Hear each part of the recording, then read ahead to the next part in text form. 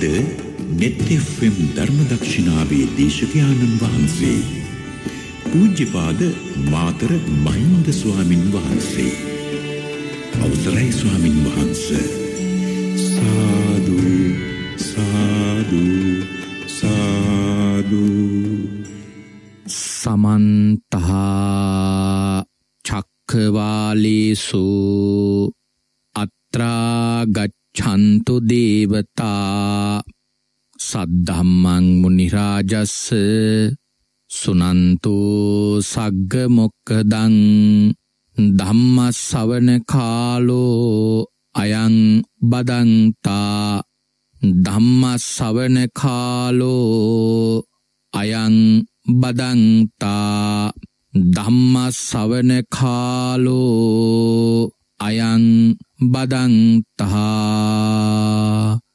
නමෝතස්ස භගවතෝ අරහතෝ සබ්බ ධම්මේසු අපපටිහතඥානචාරස්ස දස බලදරස්ස චතුවේ සාරච්ච විසාර දස්ස සබ්බ සත්තුත්තමස්ස ධම්මිස්සරස්ස ධම්මරාජස්ස ධම්මත්සාමිස්ස තතහාගතස්ස සබ්බඥුනෝ සම්මා සම්බුද්දස්ස නමෝතස්ස භගවතෝ අරහතෝ සබ්බ දම්මේසු අපපටිහත ඥානචාරස්ස දස බලදරස්ස චතුවේ සාරජ්‍ය විසාර දස්ස සබ්බ සත්තුත්තමස්ස ධම්මිස්සරස්ස ධම්මරාජස්ස ධම්මත්සාමිස්ස තතහාගතස්ස සබ්බඥුනෝ සම්මා සම්බුද්දස්ස. නමෝතස්ස භගවතෝ අරහතෝ සබ්බ ධම්මේසු අපපටිහත ඥානචාරස්ස දස බලදරස්ස චතුවේ සාරච්ච විසාර දස්ස සබ්බ සත්තුත්තමස්ස ධම්මිස්සරස්ස ධම්මරාජස්ස ධම්මත්සාමිස්ස තතහාගතස්ස සබ්බඥුනෝ සම්මා සම්බුද්දස්ස. උතුම්මෝ භාග්‍යවතුන් වහන්සේට මාගේ උතුම් වූ නමස්කාරය වේවා. ධම්මස්වාමී ලෝකස්වාමී භාග්‍යවතුන් වහන්සේට අයිති ධර්මයක් දේශනා කරන මේ වෙලාවේ මාගේ මුවින් වැරදි වචනයක් පිට නොවේවා මිත්‍යාදුෂ්ටික වචනයක් පිට නොවේවා මගේ අදහසක් ධර්මයට විරුද්ධව පිට නොවේවා. උතුම් වූ භාග්‍යවතුන් වහන්සේගේ සත්‍යමෝ බුද්ධ වචනය භාග්‍යවතුන් වහන්සේ සතුටු වෙන ආකාරයට දේශනා කරන්න මට ශක්තිය ලැබේවා. ඒ සඳහා සියලු ආරයන් වහන්සේලාගේ අනුග්‍රහය ලැබේවා. සියලු සත්පුරුෂයන් වහන්සේලාගේ අනුග්‍රහය ලැබේවා. සියලු ශාසනාරක්ෂකයින් වහන්සේලාගේ අනුග්‍රහය ලැබේවා. හැම දෙනාටම භාග්‍යවතුන් වහන්සේගේම ධර්මය අවබෝධ කරගෙන උතුම් චතුරාර්ය සත්‍ය ධර්මයම අවබෝධ කර ගනිත්වා සාධූ සාධූ සාධූ සද්ධර්මශ්‍රාවක කාරුණික ගුණගරුක පින්වත්නි. අද දවසේදී අපේ පින්වත් හැම දෙනාම මේ වෙලාවේ බලාපොරොත්තු වන්නේ භාග්‍යවත් අරහත් සම්මා සම්බුදුරජාණන් වහන්සේ විසින් ඔබෙත් මගෙත් නිවන පිණිස මහාකරුණාවෙන් දේශනා කොට වදාළ ස්වාසෝ දහසක් ධර්මස්කන්ධයන් අතරින් ඉතාමත්ම වටින ධර්මකාරණාවක් ශ්‍රවණය කරන්නටයි. අද ඉරිදා ධර්ම දක්ෂිනා ධර්මානු ශාසනාව සඳහා පුුණ්‍යවන්ත දායකත්වයක් දරනවා ඇමරිකාවේ ලොස් ඇන්ජලිස් හි පදිංචි විදුර රූපසිංහ මහත්මා ඇතුළු ඒ පින්වත් පිරිස. අපි පිංහොතුන්ට සද්ධර්ම දේශනාව අවසානයේ පිංපෙත් අනුමෝදන් කිරීමේ අරමුණි අදත් ඉරිදා ධර්ම දක්ෂිනා ධර්මානු ශාසනාව පවත්වන්නයි මේ වෙලාවේදී බලාපොරොත්තු වන්නේ. පිංහතුනි අද ධර්මදේශනාව සඳහා මා මාතෘකාව හැටියට තෝරගත්තා අංගුත්තර නිකායේ චක්ක නිපාතයේ ධම්මික කියන සූත්‍ර දේශනාව. මේක බොහෝම වටින සූත්‍ර දේශනාවක් මං එනිසා මේ සූත්‍ර දේශනාව අද දේශනාවට තෝරගත්තේ. අපගේ භාග්‍යවතුන් වහන්සේ රජගහනුවර ගිජුකුළු පර්වතයේ වැඩවාසය කරන කාලේ ධම්මික කියලා එක්තරා හාමුදුරුව නමක් කිඹුල්ලුවත් නුවර වාසය කළා. මේ ධම්මික හාමුදුරුවෝ නොයෙක් අවස්ථාවන් වල විවිධ භික්‍ෂූන් වහන්සේලාට දොස් කියනවා. ආගන්තුකයන් වහන්සේලා වැඩම කරාම ඒ ආගන්තුකයන් වහන්සේලාට නොයෙක් ආකාරයට දොස් කියනවා. ඉතින් ඒ ආගන්තුකයන් වහන්සේලාට සමහර වචන හරියට පිහියකින් පපුුවට අනින වගේ. එච්චරටම ඒ වේදනාව දරුණුයි. ඉතිං උන්වහන්සේලා වැඩි දවසක් ඒ පන්සලේ වාසය කරන්නෙනේ බොහොම කෙටි දවසකින් නැවතත් වෙනත් පන්සලකට වැඩම කරනවා. ඉති මේ හාමුදුරුවරු ඉන්න දවස්සල පිණ්ඩපාතිය වඩිනව ගමට. ති ගමි මිනිස්සු බලනවා සමහර දවස්වල වඩින හාමුදුරල දවසයි දෙකයි ගමේ පිණ්ඩපාත වඩින්නේ. ඊට පස දකින්නවත්නේ. මොකද පිංහොතුනී ගුණයට සලකන අය කවදාවත් ප්‍රශ්නයක ගැටුම් ඇති කරගන්නේ.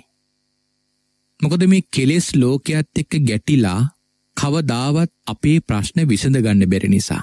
එක සමහර වෙලාවට අසාධහරණයක් වෙන්නත් පුළන් තමන්ට වෙච්ච. නමුත් ඒ කාරණාවත් එක ගැටෙන්න ගුණයට ගරු කරනයි කැමතිනේ. කොද ගැටෙන මොහොතේත් තමන්ගේ සංසාරයට කෙලෙස් ගොඩක් එකතු වෙන නිසා. එනිසා තමන්ට එක ඉවසගන්න බැරිතැනම්කට ආවතින් ඒ තැන අත්හරිනව මිසක් ඒවත් එක ගැටිල්ල විසඳගන්න උන්වහන්සල කටයුතු කරන්නේ නේ. ති එනිසාමි ආගන්තුකයන් වහන්සේලා දම්මික හාමුදුරුවන් ගැර වචනවලින් වෙහෙසට පත්වෙච්ච නිසා උන්වහන්සේලා නැවතත් වෙන වෙන පන්සල්වලට වැඩෙනවා. දවසක් මිනිස්සු කල්පනා කරනවා ඇයි මේ පන්සලට වඩින ආගන්තුකයන් වහන්සේලා වැඩි දවසක්ේ පන්සලේ වාසය කරන්නේ නැත්තේ. එකට මොකක් හරි හේතුවක් තියෙන්න්න ඕන. ති උන්වහන්සේලා කල් දායකයෝ කල්පනා කරනවා මේ හාමුදුරුරු වඩින්නේ අපේ මොනවහරි අඩුපාඩුවක් වෙලාද.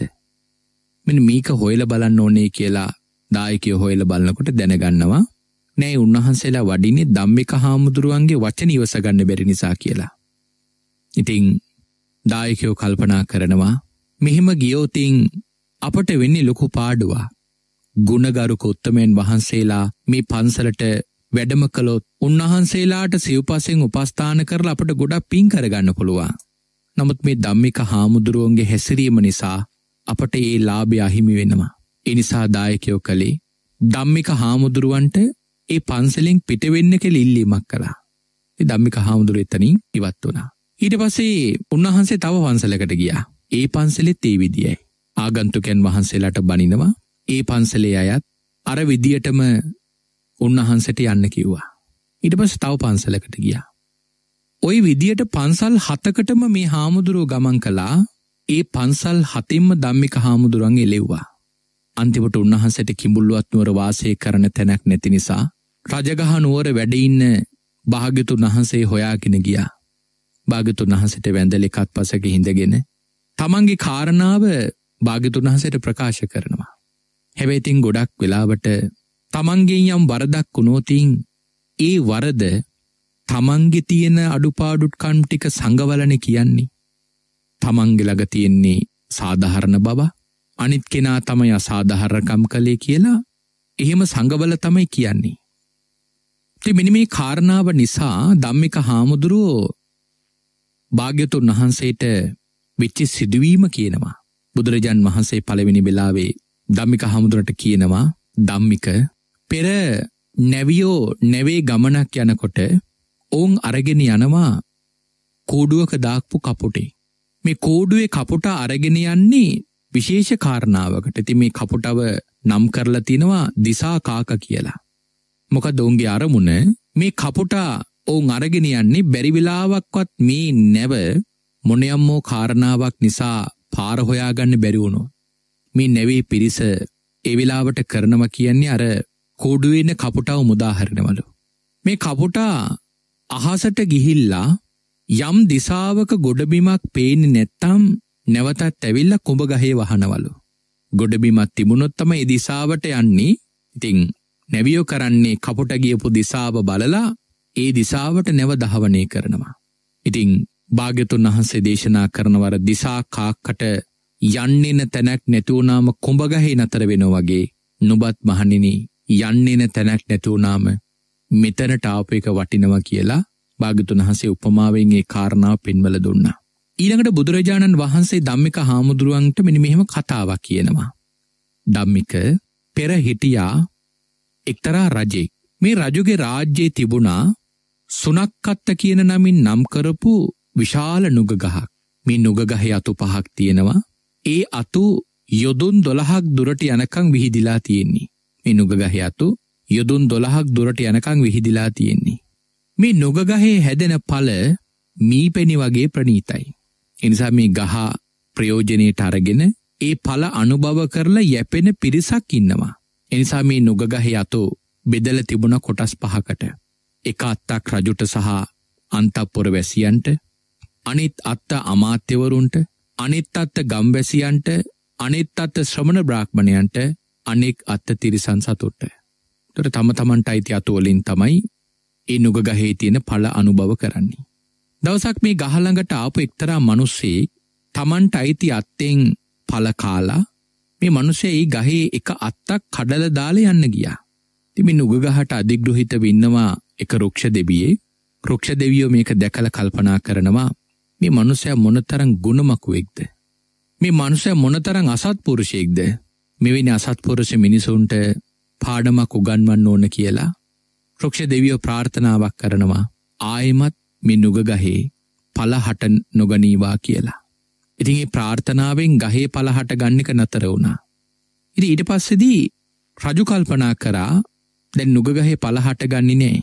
ඒක තමන්ගේ රාජ්‍යයට ලොකූ පාඩුවා. එනිසා රජතුමා මේ කාරණාව ශක්‍ර දෙවියන්ට මතක් කරා. එක ආයාචනාවක් හැටියට කළේ. ඒ වගේ පින්වතුනි සමහර වෙලාවට ආයාචනා කරපු අවස්ථාපේ ධර්මීත් තියෙනවා. තමන්ට කරදරයක් වුණාම තමන්ට විපත්තියක් වුණාම විශේෂයෙන්ම මේ ශක්‍රදිවියන්ගෙන් යම් අනුග්‍රහයක් ප්‍රාර්ථනා කරපු අවස්ථා අපේ ධර්මී නොයෙක් තැන්වල තියෙනවා.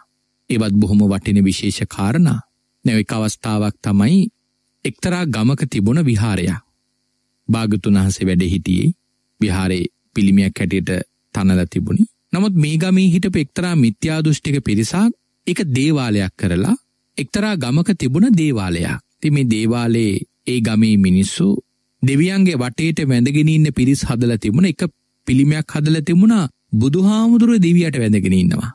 ඉතිං එක්තරා සද්ධාවන්තයෙක් මේ දේවාලට ගිය පෙලාවේ ඕක දැකලා රජුට ගිහින් කියනවා මහරජ මේක නොවියයුතු දෙයක්.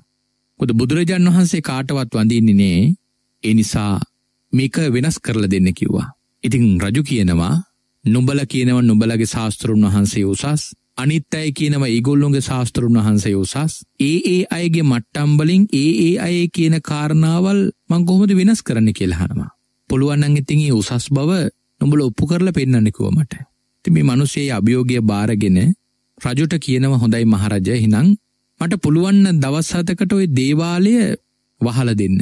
පටේට ආරක්ෂකයෝ දාන්න කිසිවෙකුට මේ දේවාලට ඇතුල් වෙන්න ඉඩතියන් එපා කියලා රජුට ඉල්ලීමක් කර ඉතින් රජුයේ මනුස්්‍යයාගේ ඉල්ලීමට කන්දීලා එක ඉටු කරා.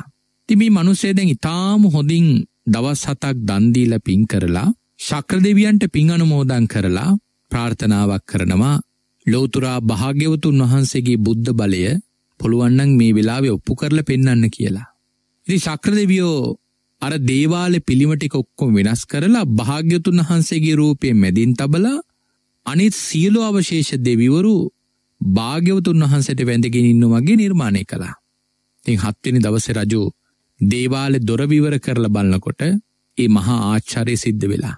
තින් ඒ වෙලාවෙදී අර උපාසකතුමාගේ පුුණ්‍යානුමෝදනාව නිසා තමයි ශක්‍රදිවියෝ ඒ කාරණාවට කං යොමු කරලා ඒ ඉල්ලී මිටු කරේ. ති මේ වගේ සමහර අවස්ථාවන් වලදී ශක්‍ර දෙවියන්ට පින් අනුමෝදන් කරලා එම යම් යම් ආයාචනාවන් කරලා තියෙනවා. තී වගේ බොහෝ අවස්ථාවල් ශක්‍ර දෙවියෝ කන්නුමු කල්ලා ඒ විට්ටු කරලා තියෙනවා. ති මේ දවසෙත් දැන් රජුට තියෙන මේ පීඩාව දුරු කරවන්න ශක්‍රදිවියෝ මහාවාතයක් මවලා සුලිසුළඟක් වගේ ඒ වාතය හමලා අර නුගගහ මුලින්ම උදුරල බිමට දැම්ම. එමි නුගගහේනේ අර රුක්ෂ දෙවියන්ගේ විමානෙත් තිබුණේ. ඉතින් දැන් දෙවියට තමන්ගේ විමානය අහිමි වුණා. දැන් දෙවියෝ දන්නේ නෑ මේ ශක්‍ර දෙවියෝ තමයි මේ දේ කරේ කියලා. දෙවියට හිතෙන්නෙම මේ සොලිසුළුගක් ඇවිල්ලා මේක මේ විදිහට විනාශ වුණා කියලා. ඉතින් දැන් මේ දෙවිය තමන්ගේ විමානය අහිමි වෙලා බොහෝ කම්පාවට පත් වෙලා ඉන්නවා. ඊට පස්සේදී ශක්‍ර දෙවියෝ මෙතනට ආවම ශක්‍ර දෙවියන්ට අර දෙවියගේ කාරණාව මතක් කරාම ශක්‍ර දෙවියෝ දෙවියගෙන් අහනවා පින්වත නුඹ රුක්ෂ ධර්මයේ සමාදන් වෙලා ඉන්නකොටද මෙහි විපත්ති වුණේ කියලා. එතකොට ඒ රුක්ෂ දෙවිය අහනවා ස්වාමීනි මොකද්ද රුක්ෂ ධර්මය කියන්නේ? මම ඒක දන්නේ නැහැ. ඒක කියලා දුන්නොත් මම සමාදන් වෙන්නම් කිව්වා. රුක්ෂ ධර්මයේ තමයි ගහේ කොළ කැමති කෙනෙක් ගහේ කොළ අරන් යනකොට ගහේ අතු කැමති කෙනෙක් ගහේ අතු අරන් යනකොට ගහේ පොතු කැමති කෙනෙක් ගහේ පොතු අරන් යනකොට ගහේ පලක් කැමති කෙනෙක් ගහේ පල අරන් යනකොට ගහේ මුල් කැමති කෙනෙක් ගහේ මුල් අරන් යනකොට ඒ පිළිබඳව ක්‍රෝධයක් දේශයක් අකමැත්තක් අමනාපයක් ඒ කෙනා කෙරේ ඇති කරගන්නේ නෑ කියන එක තමයි රුක්ෂ ධර්මය කියල කියන්නේ. මේක තමයි රුක්ෂ ධර්මය. ඉතින් රුක්ෂ දෙවියෝ කියනව සාමිනි මම මේක කලින් දැනගෙන හිටියනේ නමුත් මම අද ඉඳලේක සමාදන් වෙන්නම් කියලා පොරොන්දු වුණා. ඒකත් බොහොම සුවිශේෂී කාරණාවක් හැටියට හිතන්න පුළුවන්. ඒ මොකද පිංගුතුනි මේ දෙව්ලෝවල් වල ආකාසස්ත දෙවිවරු බෝමාටක දෙවරු කියලා වර්ග දෙකක් ඉන්නවා. මේ බෝමාටක දෙවරු කියලා හඳුන්වන්නේ රුක්ෂ දෙවියන්ට. සාමාන්‍යෙන් ධර්මයේ කියල තියෙන මෙහෙම රුක්ෂවලට අධිග්‍රහිත එක එක තැන්වලට අධිග්‍රහිත දෙවිවරු ඉන්නම කියලා. එතට බලන්න දැන් අපිට ගහක් දිහා දැක්ක ගමන් අපට හිතෙන් නෑන මේ ගහේ දෙවි විමානයක් තියෙනවා කියලා සමහරලට තියන්නත් පුළුවන් නැතිවෙන්නත් පුළුවන් ති ගොඩක් අවස්ථාවන් වල හිම සුවිශේෂි ගස්වල ඒ ගහට අධිගෘහිත වෙන විදියට විමානයක් පහළ වෙලා යම් දෙවරු වැඩඉන්න පුළුවන්. එතර මේ කතාවෙන් තේරෙන අනික් කොටස තමයි ඒ ගහ වැටුණුත් බැරි වෙලාවක්වත් ගහ විනාසුනොත් දෙවියගේ විමානෙත් විනාස වෙනවා කියෙන කාරණාව.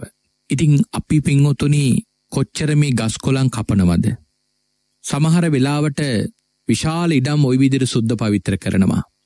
ඉතින් ඔයි වගේ කාරණාවල් නිසා අපි පිංහුතුන් හිතල බලන්න සමහර වෙලාවට අපි නොදැනුවත්ව ඒ විදියට පිංහුතුනි ගස්වල හිටපු කොයිතරන් රුක්ෂ දෙවියන්ට හානි වෙලා ඇද්ද.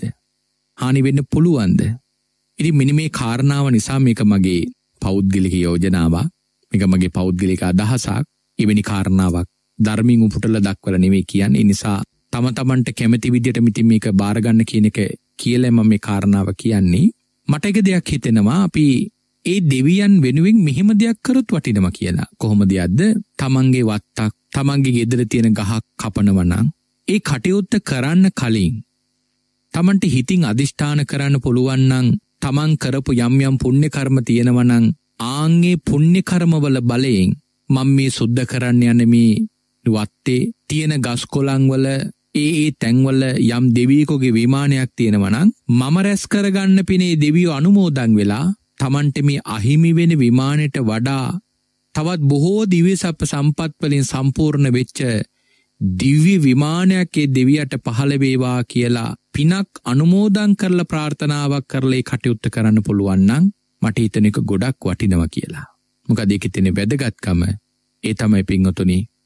සමහර වෙලාවට ඒ දෙවියෝ තමන්ගේ විමානය අහිවීම නිසා තමන්ට නොයි කාකාරයේ හතුරුකං කරන්න පුළුවන්. අකමැත්ත නිසා තමන්ට නොයි කාකාරයේ හිංසා පීඩා කරන්න පුළුවන්.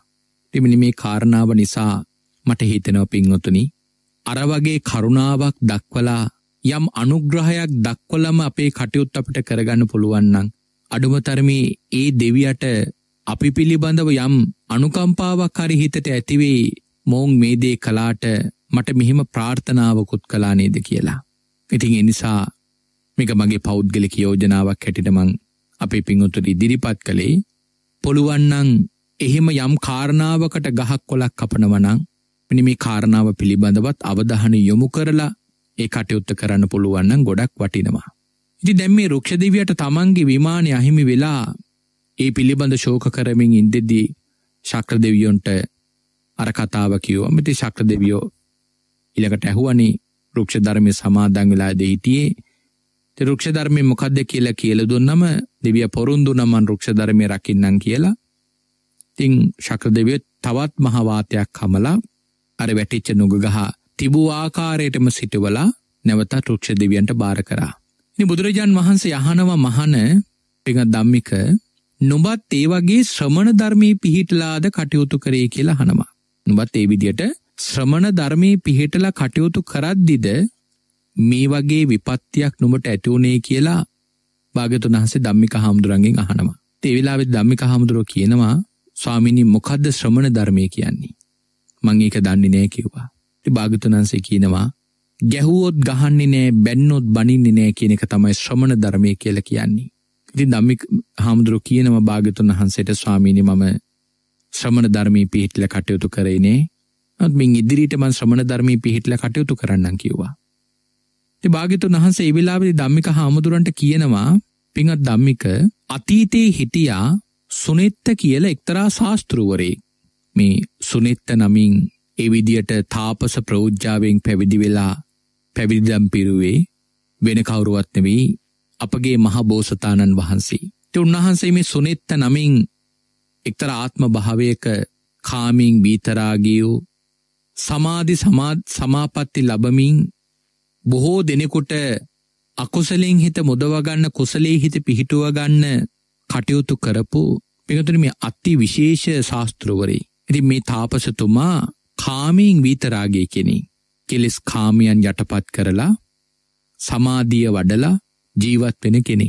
බුදුරජාන් වහන්සේ ධම්මික හාමුදුරන්ගේ අහනව ධම්මික මේ තරම් ගුණගරුක තාපසවරයෙකුට යම්කිසි කෙනෙක් පැහැදිලා යම් වන්දනාවක් කළොත් අපි හිතමු මේ ශාස්තෘවරයක් කෙරෙහි යමෙක් පැහැදීමක් ඇති කරගන්නවා. එහෙම පැහැදුනොත් ඒ පැහැදිච්ච කෙනාට මොකක්දහනව ලැබෙන්නේ. එතකොට දම්මික හමුදුරෝ කියන සාමිනි මරණින් මතුව ඒ කාන්තෙම සුගති භවයක් ලබන්න එකෙනාට ඒ කාරණාව ප්‍රයෝජනවත් වෙයි කියලා. ඊළඟට බුදුරජාණන් වහන්සේ ධම්මික හමුදුරගෙන් අහනවා ධම්මික බැරිවෙලාවක්වත් මේ සුනිත්‍ර තාපසතුමා කෙරෙහි යම්කිසි කෙනෙක් අපහැදුනුත් මොක දහනො වෙන්නේ. ස්වාමිනීතිං පැහැදිච්ච කෙනාට බැනපු දොස් කියප කෙනාට මතු ජීවිතය දුගති භවයක් හිමිවෙන්න පුළුවන් කිව්වා. පැහැදිච්ච කෙනාට ආනිසංස ලැබෙනවා අපහැදිච්ච කෙනාට පෞසිද්ධ වෙනවා. තර බුදුරජාණන් වහන්සේ යහනවා දම්මික ඒ බාහිර ශාසනයක තාපසවරේකුට කිසි ලෙසකින්වත් සමාන කරන්න පුළුවන් දහන මගේ මේ ශාසනයෙන් සෝවන් වහන්සේ. එහෙම සෝවාන් වහන්සේවත් සමාන කරන්න බෑ. සෝවාන් වහන්සේ කියන්නේ අති උත්තමෙන් වහන්සේ නම. එතකොට යම් කිසි කෙනෙක් භාගතුන් වහන්සේ අහනවා මේ සෝවාන් ආර්ය ශ්‍රාවකයන් වහන්සේ නමකට දොසක් කිව්වති මොකක්දහනො වෙන්නේ. එක පිංහතුනි අත්තිශේම බරපතල කරුණා. එක හඳුන්වල තියෙන්නේ ආරය උපවාදය කියලා.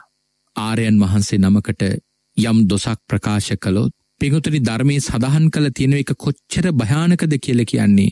යම් සෝවාන් වෙච්ච කෙනෙක් ඊට වඩා උසස් මාර්ගඵල ලාභියකොට නින්දා පහසයක් කළොත් ඒ සෝවාන් වහන්සට මේ ජීවිතේ ඉතුරුතුන් මාර්ගයට යන්න පුළුවන්කම තිබුණත් සෝවන් වෙනි නැහැ ඒ තුන් මාර්ගයට යන්නේ නැහැ කියල සඳහන් කළ තියෙනවා. මොකක්ද හේතුව ආරය උපවාදය. දවසක් එක්තරා තරුණ හාමුදුරු නමකොයි තරමක් මහළුවයේ හාමුදුරු නමකොයි ගමට පිණ්ඩ පාත වඩිනවා. මේ මහළුවයේ පසුවන හාමුදුරුවෝ රහතන් වහන්සේ නම. තරුණ හාමුදුරුව සෝවන් වහන්සේ නම. තිමේ මහළු හාමුදුරුවෝ ගමට වැඩියම මුල් ගෙදරකින්ම ලැබෙනව උනුවට කැඳ එකා. මේ රහතන් වහන්සේගේ කුසේ තියෙනව වේදනාවක් එක බලවත් වේදනාවක් ඉතිං උන්වහන්සේ කල්පනා කරනවා මේ කැඳටික මට උනුවෙන්ම වලදගන්න පුළුවන් වුණොත් මගේ මේ කුසේ තින වේදනාවට සහනයක් වෙල් ලැබේ කිව්වා. ඉති මේ හාමුදුරුව එනිසා ගමෙන් එලියට වැඩලා ඒ ලියට වැටෙන තැනම අසලක එක්තරා කොට කෑල්ලක් උඩ වාඩි වෙලා උන්වහන්සේ අර කැඳටික උනුවෙන් වැළදුව මොකද පන්සලට යනකං හිටියොතින් මේක නිමෙනවා එනිසා උන්වහන්සේ අරවිදියට වැළඳවා. ති තරුණ හාමුදුරුව පිණ්ඩපාතය කරගෙන එලියට වඩිනකොට මේ වයවුරු ධාරෙන් වහන්සේ ගම්දොරින් එලිය යම් තැනක වාඩි වෙලා කැඳටික වලදනව දැකලා බොම නින්දා අපහස වචනයක් කියාගෙන ගියා මේ මහල්ලට තියෙන පෙරේත කමට පන්සලට යන ටිකටවත් ඉවස ගන්න බැරි වුණාද කියලා. කරුණු හොයන්නතුව තමයි උන්හන්සේ දොස් කිවේ. ඉට පස රහතන් වහන්සේ යහනව දවසක් ආශ්මතුනී නොබ මේ ශාසනය කුමන අධිගමයක් ලබලද කියන්නේ කියලා. එතුට උන්වහන්සේ කියන ස්වාමිනිමන් සෝවන් වෙලා කියලා. ඒ වෙලාවේ රහතන් වහන්සේ සෝවන් වහන්සට කියනවා ආයුෂ්මතුනි එහනම් මේ ජීවිතේ ඉතුරු තුන්මාර්ගයට උත්සාහ කරන්න එපා කිවදැන්. ඉතිං එකෙන් කිව්වේ ඒ තුන්මාර්ගය වඩන්න පුළුවන්කම තිබුණත් මේ ආර්ය උපවාද අකුසල්ල කර්මය කරපු එක නිසා උන්වහන්සේට එක ලබන්න බෑ කියන කාරණාව. ඉති මේ කාරණාව තුළ පිකතුරි බොහොම විශේෂ කරුණක් ඔප්පු වෙනවා. සෝවාන් වහන්සේ නමක්කාරය උපවාද කළොත් මේ ජීවිත ඉතුරු මාර්ග පලබට යන්න බෑ කියන කාරණාව. තට ආර උපවාදය කියන එච්චර භයානක දෙයක්. සාමාන්‍ය කෙනෙක් කළොත් කොහොම වෙයිද. අප අර කච්චායන මහරහතන් වහන්සේ. දවසක් වේළුවනාරාමි වැඩඉන්නකොට අර වස්සකක වස්සකාර කියලා අමාත්‍යවරයෙක් උන්වහන්සේව දැකල බොහොම වැරදි වචනයක් ප්‍රකාශ කලානි වස්සකාර අමාත්‍යවරය කියනවා මහා කච්චායන මහරත්තන් වහන්සේව දැකල හරියට මහා කළු වඳුරෙක් වගේ කිව්වා. ති භාග්‍යතුන් වහන්සේ මේ කාරණාව ආරංචි වෙලා පනිවිඩයක් එවනවා වස්සකාර ගිහිල්ලා ඒ ආරයන් වහන්සේගෙන් සමාවගත්තේ නැතිවුණොත් ඊළඟ ආත්මෙදී ඔයි වේළුවනා රාමෙම කළු වඳුරෙක් වෙලා උපදිනව කිව්වා. ඉතිං වස්සකාර අමාත්‍යතුමාට භාග්‍යතුන් වහන්සේ මෙහෙම කරුණක් කියල තියෙනවා කියලා ආරංචි වනාම වස්සකාර අමාත්‍යවර කල්පනා කරනවා භාග්‍යතුන් වහන්සේ මේ දේ කිව්වනං එහෙනං ඉතින් ඒ කාන්තිම වෙන දෙයක්. මං ඊල්ළඟාත්මේ මැරිලා වඳුරෙක් වෙනමයි කිව්වනං එකඉතින් ඒ කාන්තිම වෙන දෙයක්. එක වෙනස් කරන්න බෑ. හැබැදි වෙනස් කරන පුළන් ක්‍රමිකුත් භාගතුන්න්සේ කිව්වේ තමයි කච්චායන මහරහතන් වහන්සේගෙන් සමාවගත්තනං එහෙම දෙයක් වෙන්නේ නේ. ඔත අසකාර අමාත්‍යවරට දැන් භාගතුන් වහන්සේගේ වචනය අහන්න ලැබිලා තිගේ පිළිබඳ දැදි සද්ධාවත් තියෙන නිසා සමාව ගන්න ගියනේ සමාව ගන්න ගිය නැත්ති මාන්‍ය වැඩි නිසා. නමුත් වස්සකා රමාත්‍යවර මොකද කළේ. මුළු වේළුවනාරාම වටේටම පළුතුරු ගස් හිටෙව්වලු. මකද හේතුව වඳුරේ කුණාම ඊළඟ ජීවිතය කන්න දෙයක් තියෙන ඔන්න නිසා. එතකොට අපේ පිංහතුන් කල්පනා කරලා බලන්නකෝ ආර්ය උපවාදය කෙනෙ කොච්චර භයානක කර්මයක්ද. ඉතින් භාග්‍යතුන් වහන්සේ ධම්මික හාමුදුරට මේ කරුණු ටික මතක් කරලා කියන්නේ ධම්මික බාහිර ශාසනයක තාපසවරයෙකුට යමෙක් වැරදි වචනයක් කිව්වෝතින් කර්මය ඔයි වගේ නං ධම්මික එනම් මේ ශාසනයේ සෝවාන් වහන්සේ නමකට වචනයකින් දෝෂයක් කළොත් තුසක් කිව්වෝතින් සකදාගාමින් වහන්සේ නමකට දොස් සහිත වචනය කිව්වෝතින් අනාගාමියෝ රහතන් වහන්ස නමකට දොස් සහිත වචනයෙන් කිව්වෝතින් ඒ කර්මය කොච්චර භයානකයිද කියලහන්නේ තිං භාගතුන් වහන්සේ ධම්මික හාමුදුරට පෙන්වල දෙනවා. ධම්මික හාමුදුරුවෝ පන්සල්වල ඉන්නකොට බනිද්දී. කෞද දන්නේ තමන් වදින්නේ සෝවාන් වහන්සේ නමකට කියලා. මං මේ බනින්නේ සකදාගාමී වහන්සේ නමකට මං මේ බනින්න අනාගාමී වහන්සේ නමකට කියලා කොහොමද ධම්මික හාමුදුරු දන්නේ. මොකද ආරයෙන් වහන්සෙල්ල කවදාවත් තමන්ගේ ආරය භාවය ප්‍රකට කරන්නේනි. කොහොමද දන්නේ ධම්මික හාමුදුරුවෝ බැන්නේ පෘතක්ජනයන් වහන්සේලාට කියලා. ආරෙන් වහන්සලට බැනි නෑ කියලා කොයිතනං ආරෙන් වහන්සේලාට දම්මික හාමුදුරුව එදා බනිද බනින් නැද්ද. පන්සල් හතකදිම බැන්නනි බුදුරජාණන්ස දේශනා කරනවා දම්මික හාමුදුරුව කරගෙන තියෙන අකුසල කර්මයහි බරපතලකම. තර බලන්න පෙංගුතුනි දැන් මේ කාරණාව තුළින් පෙන්වල දෙනව එක කරුණා. ඒ අන් කිසිවක් නෙවෙයි පින්වත්නේ. අපේ මේ පෘතක්ජන භාවයේ මේ හිත හැමතිස්සේ මදින්නේ පින්වතුනි අකුසලයට. අපි බනාහලා අපි ඒ පිළිබඳ සද්ධාව පිහිටුවලා අකුසලේ ආදීනව දකින නිසා තමයි හිත පින්වතුනි අකුසලෙන් මුදුබ ගන්න වෑයම් කරන්නේ. නැත්තං සංසාරය අති දීර්ඝ කාලයක් පින්වතුනි මේ අකුසල්ම පුරුදු පුහුණු කරගෙනාපු ඔබ මම මේ ජීවිතේ පින්වතුනි හිත අකුසල්වලට අදිනවනං එක පුදුමවෙන්න කරුණකුත් නෙවෙයි. එක තමයි සංසාරයේ අපි ලබපු පුහුණුව. නමුත් පිංහතුනි අපි හැම වෙලාවකම උත්සාහ කරන්න ඕන ඒ අපේ හිතින් වෙන ඒ අකුසලය පුළුවන් තරං ක්‍රියාත්මක වෙන්න ඉඩ නොදී ඒක උපන් තැනම නසලදාන්න. අකුසලය උපන් තැනම නසලදාන්න අපි වෑයම් කරන්න ඕන. මොකද යකඩේ හැදෙන මල ඒ යකඩයම විනාස කරලා දානෝ වගේ අපේ හිතතුළ උපදින මේ කෙලෙස් ධර්මයන් අපිවම පිංඋතනින් නසල විනාස කරල දානවා. භාගතු නහසේ වරක කියනවනේ. දරුණු හතුරෙකුට හතුරුකමක් කරනවට වඩා මේ ලෝක අති භයානකම දේ තමයි තමන්ගේ හිතින් කරන අකුසල කරමී කියලා. මොකද හිතල බලන්නකො පිංහතුනි ලෝකයේ මිලේච්ච සංවිධානයක් තියෙනවා. ඒ මිලියච්ච සංවිධානයේ නායකයත් එක අපි විරසක බවක් ඇති කරගන්නවා. අපිට මොනවගේ දෙයක් අත්දකින්න ලැබේ දේ නිසා. භයානකම මිලේච සංවිධානය නායකයත් එක්ක ගැටුමක් ඇතිකර ගත්තොතින් අමනාප බවක් ඇතිකර ගත්තොතින් හිතන්නක පිංහුතුනී අපිට මොනවගේ දුකක් විඳින ලැබීත සමහර වෙලාවට ලැබෙන දඩුවම මරණීන් වෙන්න පුළුවන් වන්දිගේ වන්න වෙන්නේ. එතකොට ඒ මනුස්සයට අපිට කරන්න පුළුවන් උපරිමහානිය තමයි මරණික. අතපය කපන්න පුළුවන් ගෙවල් දොරවල් විනාස කළ ගිනි තියන්න පුළුවන් නොයෙක් නොයි දේ කරන්න පුළුවන්. හැබැයි අපිට කරන්න පුළුවන් අවම උපරිමහානිය තමයි අපිෝ මරණ එක. ඔයිට වඩයි හාදයක් නෑනි කරන්න අපිට. හිතමක පිංහතුන අපි මැරුව කියලා. ඉතින් මැරිච් අපි ඊළඟ ආත්මෙත් හිතන්නකො නිකං මනුෂ්‍යයෙක් වෙලා ඉපදුනා කියලා. දැන් අර මනුස්්‍යයා අපි උපන්තැනටත් හොයාගෙන එනවද? ගිය ජීවිතේ මේ මනුස්්‍යය මට මේ වගේ නරක දෙයක් කලා මේ මනුස්්‍යව ගිය ජීවිතේ මැරුවෙත් මම නමුත් මගේ තාම තරහ නිමුණෙ නැහැ එනිසා මේ ජීවිතෙත් මට මේ මනුස්්‍යාව මරන්න ඕනේ කියලා ඒ උපන්තැනටත් ඇවිල්ලා අපිෝ මරණවද නේ එහනගේ මිලෙච්ච මනුසයා භයානක හතුරා අපට හතුරුකමක් කොළොත් කරන්නේ එක ජීවිතයක පමණයි. නමුත් අපේ හිතේ උපදෙන කෙලෙස් කෙලෙස් හිත පින්වතුන අපිව සංසාරය කොච්චර දවනවද. කොච්චර විනාස කරනවද. අපේ මේ කෙලෙස් හිත සංසාරය පින්වතුනි ජීවිත සීයක් ජීවිත දාහක් ජීවිත ලක්ෂයක් ජීවිත කෝටියක් විතර අපිව නසල විනාස කළ දානවා. මෙ කෙලෙස් සිත ඉතින් පිංගුතුන් කල්පනා කරල බලන්න මේ සසර තියෙන භයානක බව. ඇත්තටම පිංහතුනී අපි පරිස්සං වෙන්න ඕන බාහිර හතුරන්ගෙන්ද නැත්තං තමන්ගේ කෙලෙස් සිතින්ද. ඇත්තටම වැඩිපුරම පරිස්සං වෙන්න ඕන තමන්ගේ මේ කෙලෙස් සිතත් සිතින්. මොකද සිත තුළ උපදින අකුසලය අපිව ජීවිත ගානක් විනාස කළ දානවා. නමුත් භයානකම හතුරා ලෝකඉන්න භයානකම හතුර අපිට හතුරුකමක් කරොත් අපිට විනාසේ දෙන්න එක ජීවිතයයි. එහමනම් අපේ මේ හිතේ උපදින කෙලෙස් හැම වෙලේම අපි පින්වතුන අඳුර ගන්න ඕන. දැම් මගේ හිතට ලෝභ සිතක් ඇති වුණා. දැම් මගේ හිතට දවේශ සිතක් ඇති වුණා. දැම් මගේ හිතට මෝහ සිතක් ඇති වුණා දැම් මගේ හිතට රාග සිතක් ඇති වුණා දැම් මගේ හිතට දැම ඉරිසියා සහගත සිතක් ඇති වුණේ මාන්‍යයක් වී මගේ හිතට ආවේ ආං ඒ අපි අවබෝධ කරගන්න ඕන. මොකද ඒ අවබෝධ කරගත්තේ නැති වුණු. අපේ හිතේ උපදෙන කෙලෙස් වලට අපි පින්වතනි වටිනකම් දෙන්න ගිහිල්ලා. අපි සංසාරයටම කරගන්නේ බොහොම භයානක වරදා.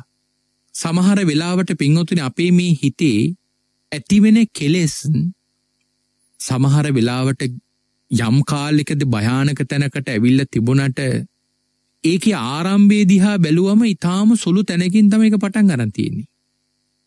උදාහරණ කැටරි හිතන් අපේ ජීවිතය වෙන සමහර ප්‍රශ්න. සමහර වෙලාවට අපි අද බොහොම තීවර ලෙස විඳිනවයි ප්‍රශ්නවල පීඩාව. නමුත් ඒ ප්‍රශ්නය ආරම්භය ගත්තොතින් හරියට අපෙර කීමට කියන වගේ නියපොත්තෙන් කඩල විනාස කරන්න පුළුවන් මට්ටමේ තැනක තමයි ඒ ප්‍රශ්න තිබිල තියෙන්නේ. විසඳන්න පුළුවන් තැන තිබිලති නෙතන නමුත් අපේ හිතේ තියෙන කෙලෙස් වල තියෙන දැඩි බව නිසා එක එතන විසඳ ගන්න නැතුව අද සමහර වෙලාවට ප්‍රශ්නේ උඩුදුවලා තීවර තැනකට ඇවිල්ලා දැන් භයානක විදියට පින්වතුන අපි කෙලෙස් පුරවගන්නේ. සංසාරයට විශාල කෙලෙස් ගොඩක් ඒ ප්‍රශ්නවලින් පුරව ගන්නවා. මනික උදාහරණයක් මෙහෙම කියන්න.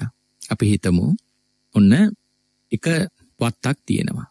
මේ වත්තල් ළඟ අල්ලපුවත්තේ මනුස්සයා තමන්ට පාරට එන්න එක්තරා පාරක් තියෙනවා.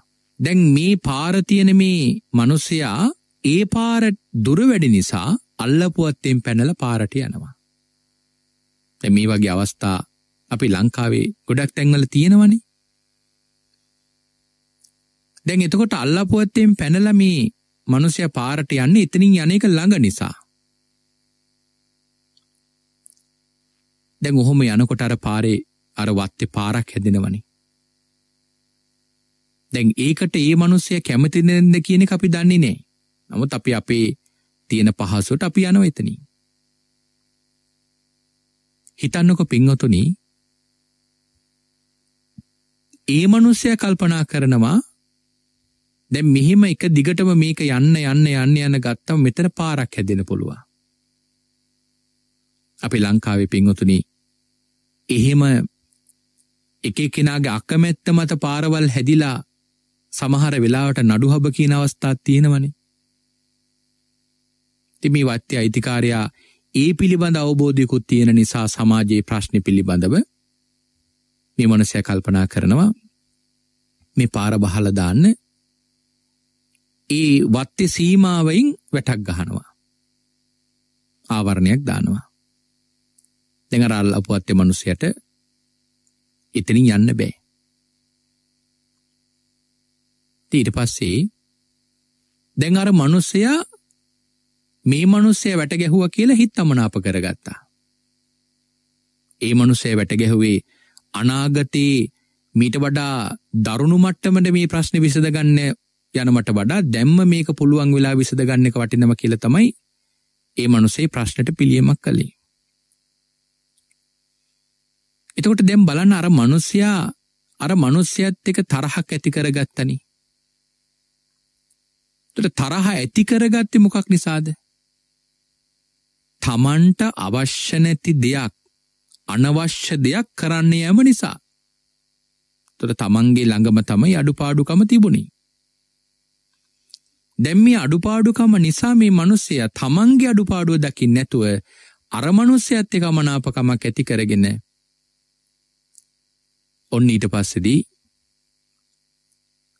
එවෙල්ලෙට ඒකට පලිගන්න මුකුත් කරන්නේ නැතුව අවස්ථාවක් ලැබෙනකම් බලංගෙදල අන්නේ ලැබෙන අවස්ථාව සමහරලාවට අර තියෙන තරහත් මුල් කරගෙන පලිගන්න පුළුවන්. ඉතිං ඔය ගැටම ඔතනින් පටන් ගත්තට සමහර වෙලාවට ඕක දරුණුම මට්ටමට ගිහිල්ලා සමහරලට බොහෝ ප්‍රශ්නවලින් ඕව විස දෙන්න පුළුවන්.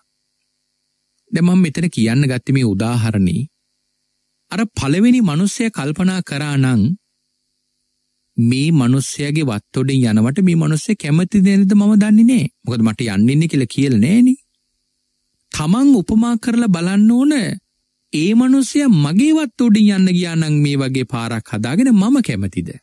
ආහෙනං මම ඒ දේට කැමති නැත්තාං ඉතිං ඒ මනුස්සයත් මගේ දේට කැමති වෙන්න ඕනේ කියල දෙයක් නෑනී එන මේක ප්‍රශ්නයක් ඇතිවෙන්න හේතුවක් වෙන්න පුළුවන්. ඒ නිසා මම එහෙම කටයුතු කරන්නේ නෑ කියල හිතලා පලවෙනි තැනදිම ඔය හිත හදාගෙන අපහසුකමත් තිබුණත් වටින් පාරට යන්න එමනුසෑ සෝදානන් කරගත්තනං ඔය වගේ ප්‍රශ්නයක් ඇති වෙන්නේන නමුත් සමහර වෙලාවට ඕක සුළු දෙයක් වෙන්න පුළුවන්. මම කියපු කාරණාව. හැබැයි ඒ වෙලාවෙ හිත තුළ ඇතිවෙච්චර දේශය වෛරය ක්‍රෝධය කියන සිතුවිලි අපේ පිංහතුන් දන්නවද? තමන්ගේ සංසාරයට කොයි තරම් බලපානවද කියලා. එනිසා යම්කිසි කෙලෙස් ධර්මයක් ඇතිවෙන්න හේතුවක් ආපු ගමන් අපේ පිංහතුන් නුවන මෙහෙවලා ඒ ක්ලේෂයට වටපිටාව හැදෙන්න දෙන්න ඉඩ දෙන්නේ නැතුව උපන් තැනම එක නසලදාන්න. තමන්ගෙ තියෙන කැමැත්ත නැති කරලා දාන්න. තමන්ගෙ තියෙන පහසුව නැති කරලා දාන්න. මොකද දැං උදාහරණයක් හැටියට අප හිතමු කෙනෙක් වාහනයක් දහවනය කරලා යම් තැනක නවත්තන්න ඕනුනොත් වාහනි නතර කරනවා. හැබැයි නතර කරේ තවත් වාහනයකට බාධාවක් වෙන විදිට නවත්තල තින වාහනයකට බාධාවක් වෙන විදිට වෙන තැනක වාහන නතර කරන්න පුළුවන්කම තියාගෙන මෙතර නවත්තනවා. එතොට දැන් අර කලින් වාහන නතර කරපුගෙන වාහනය ගන්නනකොට කෙනෙක් වාහන නතර කරලා තියෙනව දකිනකොට ඒ මනුසට කේන්ති යන්න පුළුව සමහලට කවුද දන්නේ? ඒ මනුස හදිසි කටයුත්තක් නිසා මේ යන්න හදනව කියලා. දෙඟර දෙවිනියට වාහන නතර කරපු කෙනගේ වාහන ගන්නකම මේ මනුසට බලාගෙනන්න වෙනවන. සමහරලට අරමනුසට කේන්ති ගිල්ලා අර බාධාවක් වෙන විදිට වාහන නතර කරපු මනුසට බනින්න පුළුවන්. ගහගන්න පුළන් සමහලට වාහන කුඩු කරගන්න පුළුවන්. ති නුවන කල්පනා කරල ඒ වෙලාවි හිතුවනං අර දෙවින්නට වාහනේ නතර කරපු මනුස්සයා මම මෙතන වාහනේ නතර කරොත් මෙතන ප්‍රශ්නයක් වෙන්න පුළුවන්. එනි සමට පහසු විදිට මම මෙහෙම නතර කරනවා කියලා තව කෙනෙකුට බාධාවක් ඇති නොවැනි විද්‍යට කටයුතු කරන්න පුළුවන්නන් අපි පිංහතුන් හිතන්ඩ සසරට එකතු වෙන්න පුළුවන් කෙලෙස්වලින් කොච්චර අපට නිදහස් වෙන්න පුළුවන්ද. අපි පිංහතුනේ හිතන්නේ නැතිව තමයි සංසාරයට අති විශාල කෙලෙස් ගොඩක් අපි එකතු කරගන්නේ. ඕකක උදාහරණයකින් කියනවනම් අපි පිංහතුන් දන්නවද දේවදත්ත හාමුදුරු කියන කෞද්ද කියලා. අප නිතර කියල තියෙනවා. දේවදත්ත හාමුදුරුව කියන්නේ සාමාන්‍ය කෙනෙක් නෙවෙයි. මහා කල්ප අසංක්‍ය දෙකක් පාරමිතා පොරොහෝත්තමේ අනාගතයේ කල්ප ලක්ෂකින් සට්ටිස්සර කියන නමින් පසේ බුදු වෙන්නඉන්න කෙනෙක්. නමුත් අද දේවදත්ත හාමුදුරුවයි නවීචයේ. දේවදත්ත හාමුදුරුවන්ට ඔය කියන අවීචයේ දුක විඳින්න දේවදත්ත හාමුදුරුවෝ මේ ප්‍රශ්නය පටන්ගත්තෙ කොතනද. උන්වහන්සේ මේ ජීවිතේ භාගතුන් වහන්සේට නොයෙක් කරදර කරලා අවීචිත ගියාට නමුත් ඔය ප්‍රශ්නය දේවදත්ත හාමුදුරුව පටන්ගත්තෙ කොතනද. පටන්ගත්තේ මීට මහාකල්ප පහකට කලින් සේරිවාණිජ ජාතකයේදී. සේරිවාණිජ ජාතකයේදී දේවදත්ත හාමුදුරුව වලලු වෙලින්දී.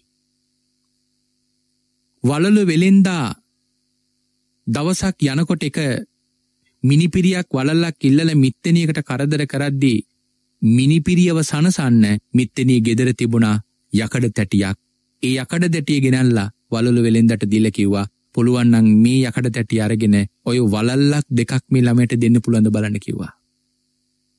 ද මිත්තනට සල්ලිනේ ති වලුල්ල වෙලින්දා කටුවක් කරගෙන මේක හෝරල බලන්නකොට මේකට යකඩ තැටියක් නෙවේ මේක රත්තරන් තැටියා දන්නවා මේක කොච්චර වටිනවද කියලා.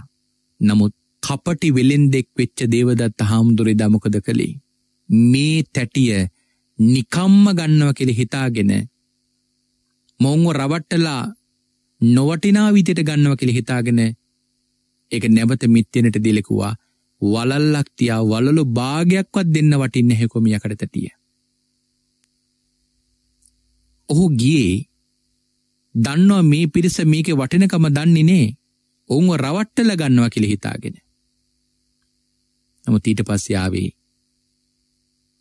අපේ මහා කාවරුණිකයන් වහන්සේ භාගතුන් වහන්සේ බෝධිසත්වයන් වහන්සේ නමක් හැටියට එදා වලලු වෙලින් දෙක් ලෙස ඔය පාරෙම වලලු විකුණු විකුණාවා. උන්වහන්සේගේ කරුණාව පිංහොත්තුනි සම්මා සම්බුද්ධත්වය ලැබුවයින් පස්සේ ලබපු ප්‍රමාණය අති විශාලයි. හැබැයි උන්වහන්සේ පාරමිතා පුරද්දිත් ඒ කරුණාවේ විද්දියටම දියුණු කරපු කෙනෙ. එදා උන්වහන්සේ මේ ගෙදරට ආපු වෙලාවේ මිනිපිරියගේ ඇඩිල්ලෙන් මිත්තනිය වෙහෙසට පත්වෙන නිසා ඒ යකඩ තැටිය මරගෙනැවිල බෝසතාණන් වහන්සටත් දුන්නා. පුළුවන්නම් මේ කාරගෙන වලල්ලක් දෙකක් ගන්න පුළුවන්ද කියල බලන්න කිව්වා. ති බෝසතන් වහන්සේ මේ කරගෙන බලන්නකොට ඒකේ වටිනාකම උන්වහන්සට වැටහුණේ කොහොමද මගේ ළඟතියෙන මේ වලලු කඳ දුන්නත් මගේ ළඟතියෙන් දැනට සල්ලිටික දුන්නත් මේ රත්තරන් තැටියට මිලක් දෙන්න මගේ ළඟ සල්ලි නෑ කිව්වා. මේක එච්චරට වටිනවා කිව්වා. එතොට මිත්තිනට වැටහුණා කලින් ආවේ බොහොම දුෂ්ට වෙලින් දෙක් කියලා. තිගේ විලාවෙදී බෝසතාණන් වහන්සේට මිත්තනී මේ තැටිය දීලකව කමක් නෑ ඔය වල්ලු කියක් හරි දෙලි මේ කරගෙන යන්න කියලා. නමුත් බෝසතන් වහන්සේ තමන්ගේ ළඟ තිබිච්ච වලලු කඳයි තමන්ගේ ළඟ තිබෙච සල්ලි ඔක්කෝම අර ගෙදරට දීලා රත්තරන් තැටි අරගෙන යන්න ගියා. ඉතින් ඊළඟට දේවදත්ත හාමුදුරුව දැන් අර මිත්තනීව රවට්ටල යකට තැටිය ගන්න කිලි හිතාගෙනවා. එනකොට මේ සිද්ධි ආරංචි වනාම දේවදත්ත හාමුදුරට දරාගන්න බැරි වුණා. සිහිය නැතුවුණා වලදු කඳ බිම දැම්මා බෝසතන් වහන්සේ හොයාගෙන යන්න ගියා නමුත් එමෙනකොට බෝසතන් වහන්සේ ගඟේ පාරුවට නැගලා ගඟ මැදට එනකං ගිහිලිවරයි. තමන්ට වෙච්ච පාඩුව දරාගන්න බැරුව දේවදත්ත හාමුදුරුවෝ මගේ ඔය රත්තරන් තැටිය මට දෙන්න කියල කෑගගහ කියද්දිත් බෝසතන් වහන්සේ යනවා දැකලා වැල ටිකක් කරගෙන උඩදාල කිව්වේ මම මේ වෙල්ලිකට ගානට නුඹෙන් සංසාරය පලිගන්නව කිව්වා. බලන්නක පින්ඔත්තුනි එහෙම දෙයක් එහෙම ප්‍රශ්නයක් දේවදත්ත හාමුදුරට එදා ඇතිකරගන්ට මොකක්ද වෙච්ච හේතුව තමන්ගැර දූෂ හිතනි මුල් වෙලාවෙම බෝසතන් වහන්සේ කලා වගේ අර අවස්ථාවයෙන් ප්‍රයෝජනි අරගෙන අර මිත්තනියෙක්ටත් සනසලා ඒ වලු කන්දයි සල්ලි දීලව රත්තරන්තැටි අරගෙන ගියානං ඒක තමන්ගෙන නමුත් ඊටත් වඩා කපටි විද්‍යට වැඩේ කරන්න ගියා. ඊටත් වඩා වංචා සහගත විතර මේක කරන්න ගියා.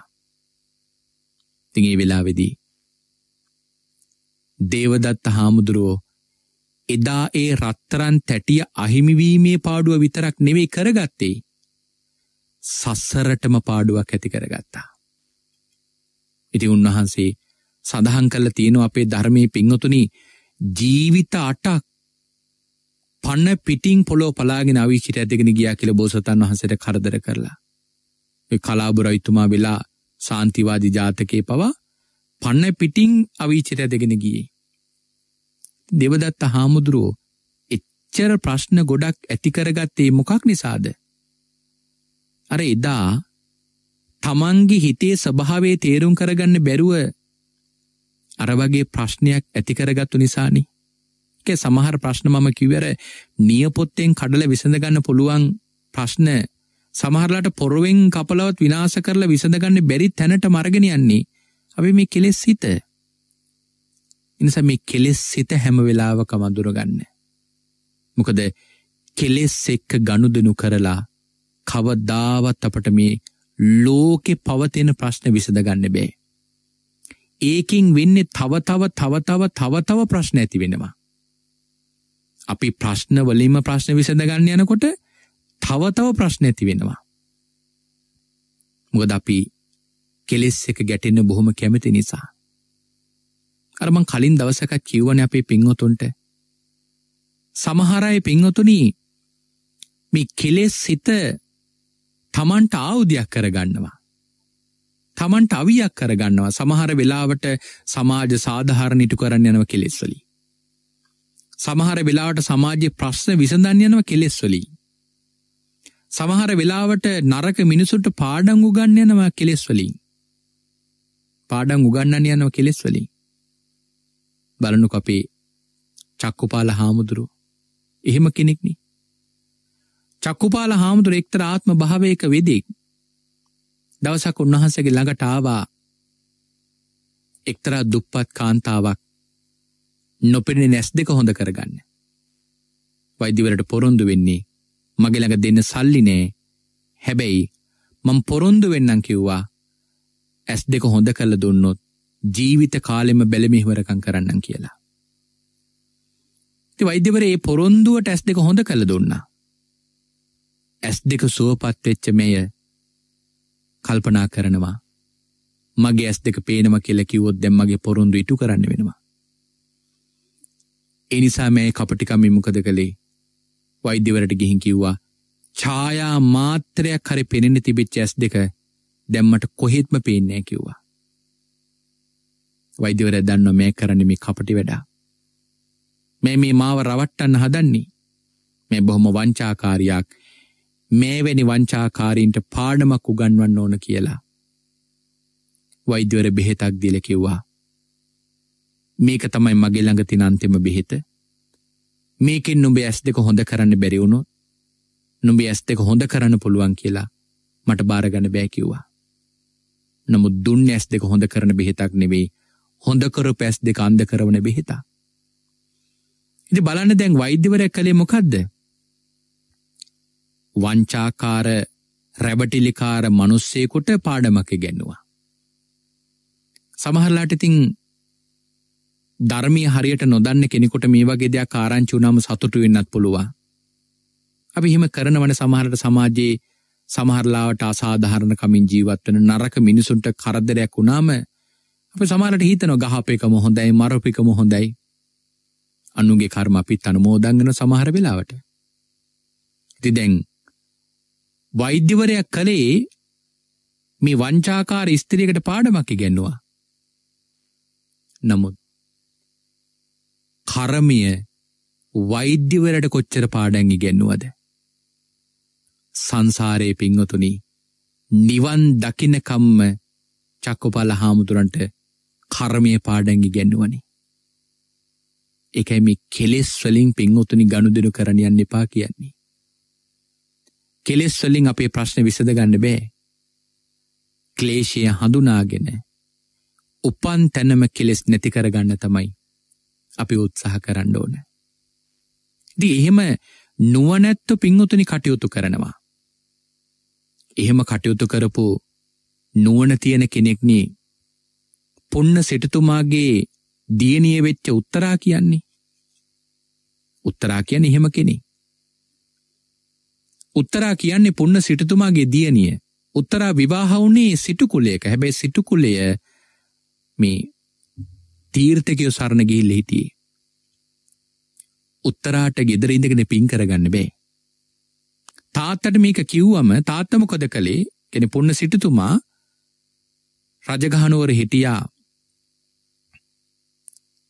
එක්තරා නගර සෝබිනිය සිරිම කියලා.